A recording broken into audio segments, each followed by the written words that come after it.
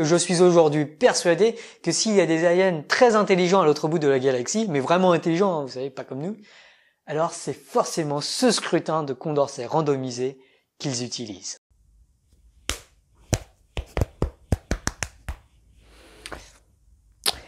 Il y a 5 ans, je vous disais que le scrutin de Condorcet randomisé était non seulement mon scrutin préféré, mais qu'il était aussi assurément celui que des extraterrestres utilisaient. Eh bien, j'ai un peu changé d'avis, même complètement. Je vais faire aujourd'hui un peu mon auto-debunk, et je vais même faire mieux que cela encore. Je vais vous présenter un nouveau site web appelé Tournesol pour la présidentielle 2022 qui vous permet de voter selon un scrutin que je considère aujourd'hui être meilleur que le scrutin de Condorcet randomisé. En fait, je pense même qu'il s'agit du scrutin du futur. Et je vous invite à vivement y participer en vous connectant à l'adresse tournesol.app slash présidentielle 2022 ou en cliquant sur le lien en description ou en commentaire épinglé. Et je suis sérieux. Allez, cliquez dessus. Faites-le. Je vais attendre que vous le fassiez avant de continuer.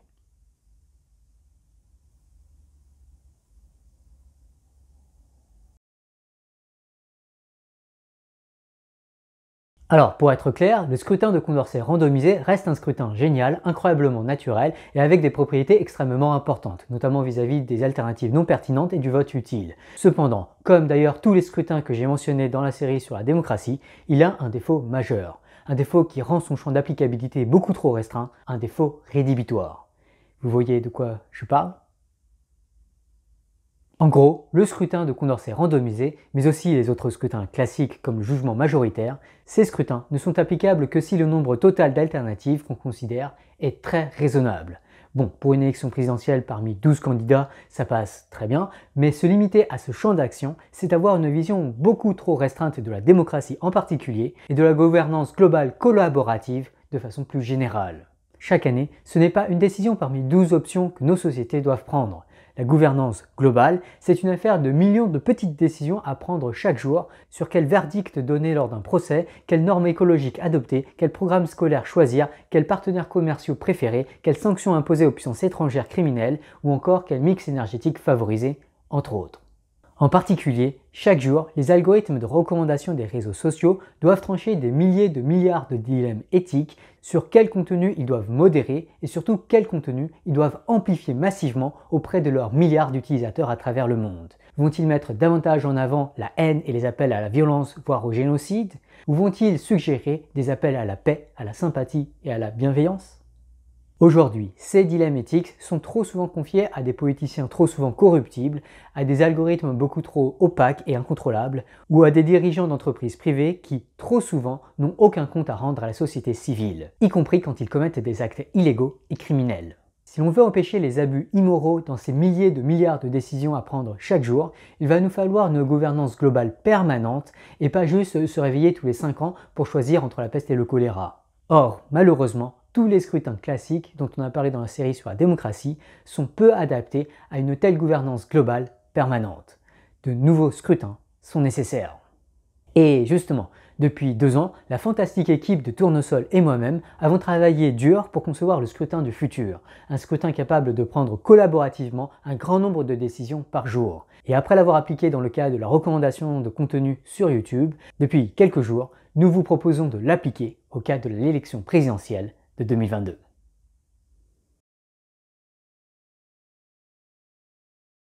Dans le cas de la présidentielle 2022, les alternatives à comparer sur Tournesol ne sont autres que les candidats à la présidentielle. Et bien sûr, la question qui nous intéresse le plus, c'est de savoir quel candidat, selon vous, devrait être président.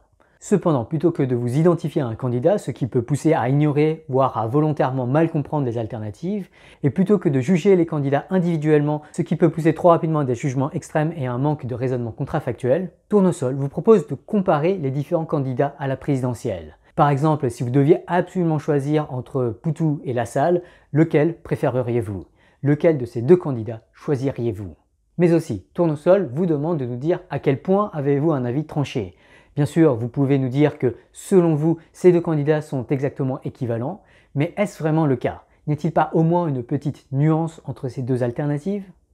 Par ailleurs, une option que Tournesol vous propose, c'est de justifier, ou plutôt disons de documenter, votre préférence. Pourquoi préférez-vous un candidat à l'autre? Sur quels critères se fonde votre jugement? Il n'y a-t-il pas des bémols que vous souhaiteriez exprimer? Pour cela, Tournesol vous propose de comparer les candidats selon différents critères secondaires. Pour encourager ce réflexe parmi nos contributeurs, nous avons listé trois critères obligatoires de comparaison, à savoir énergie et environnement, éducation, culture et information, et santé et bien-être.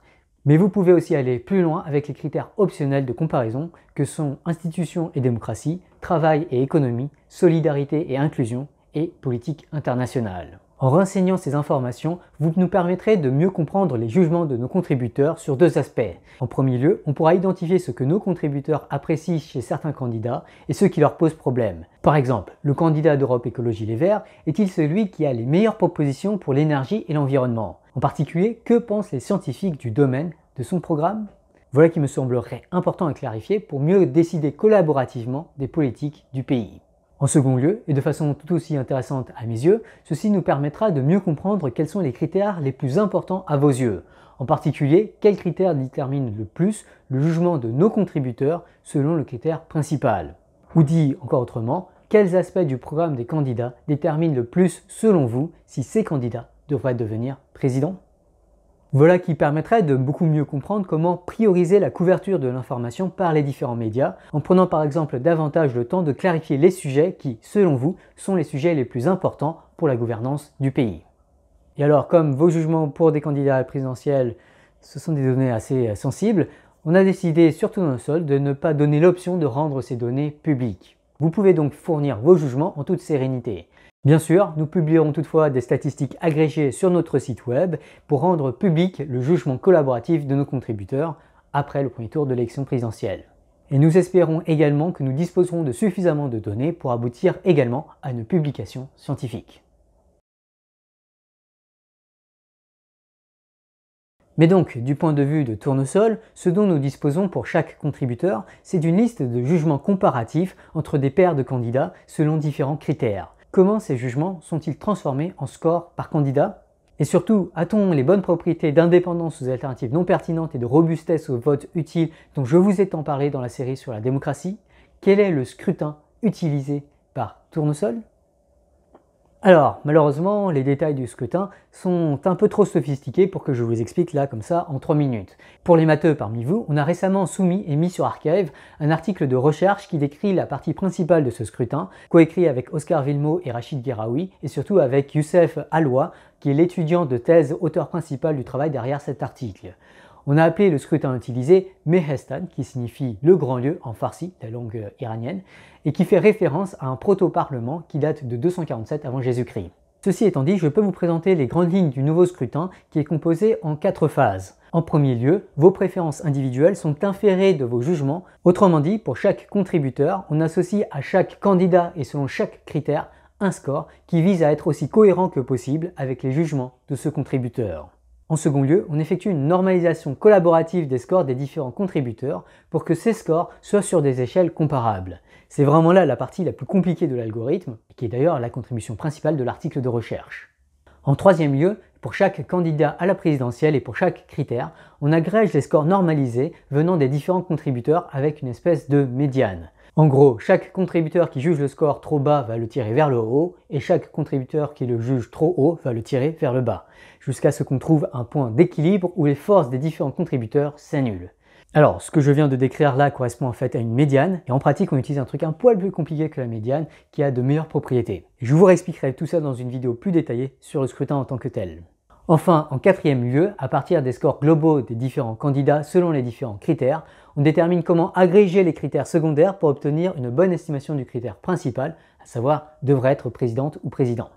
Le score final, le score dit tournesol, est obtenu en combinant le score global selon le critère principal avec une agrégation des différents critères. Encore une fois, je simplifie beaucoup de choses, mais les grandes idées du scrutin sont bel et bien là.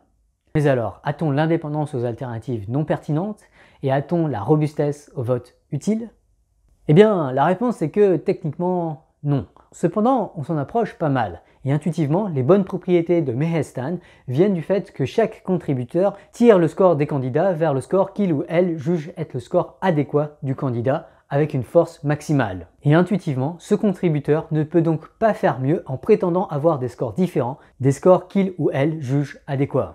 Bon, en fait, techniquement, c'est bien plus compliqué que cela, et en fait, on n'a pas exactement l'indépendance aux alternatives non pertinentes, ni la robustesse au vote utile. Mais ce que j'ai surtout envie de vous montrer, c'est qu'il y a néanmoins une certaine forme de robustesse que des alternatives plus simples n'ont pas. Enfin, dernière question que vous pourriez me poser, est-ce qu'on a vraiment là le scrutin ultime? Est-ce la bonne façon de concevoir une gouvernance collaborative permanente, notamment pour des problèmes plus complexes que la présidentielle, comme par exemple la recommandation de vidéos sur YouTube? Est-ce le scrutin que les extraterrestres eh bien, sans rentrer trop dans les détails, j'ai envie de dire qu'on a là un bon point de départ, mais qu'il reste un travail monumental à effectuer pour améliorer le scrutin et le rendre plus à même de gérer la variété extrême des milliards de dilemmes auxquels nos sociétés sont exposées chaque jour, tout en garantissant la sécurité du scrutin vis-à-vis des contributeurs malveillants. Donc non, on est encore très loin du scrutin ultime. Et il va vraiment falloir que les plus brillants cerveaux au monde travaillent longuement dessus pour qu'on conçoive collaborativement une solution à la gouvernance collaborative permanente, conforme notamment au principe des représentants algorithmiques dont on a parlé dans un épisode précédent. Il nous reste donc beaucoup de travail. Mais pour le coup, il s'agit, je pense, du plus fabuleux de tous les chantiers jamais entrepris par l'humanité. Et en tout cas, la quête du scrutin ultime c'est vraiment la seule direction de recherche qui m'enthousiasme pleinement.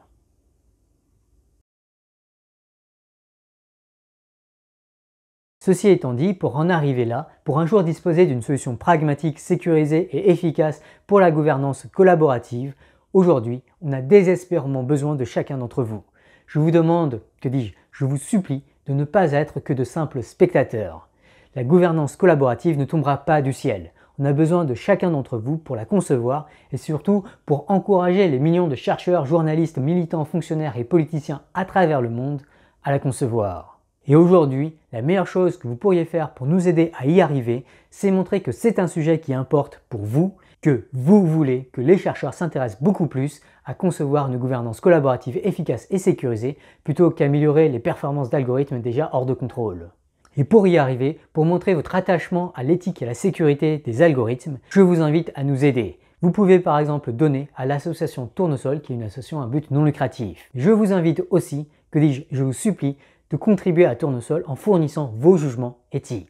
Chaque contribution que vous ferez à Tournesol, c'est un pas de plus que Tournesol fera vers plus de respectabilité et de crédibilité académique qui permettra de convaincre les chercheurs à travers le monde de prioriser la quête d'une gouvernance collaborative à la quête d'algorithmes performants qui seront en fait plus probablement exploités pour faire de la désinformation de masse. S'il vous plaît, je vous en supplie, participez à Tournesol, comparez des vidéos sur tournesol.app et dites-nous ce que vous pensez des candidats à la présidentielle sur tournesol.app slash présidentielle 2022.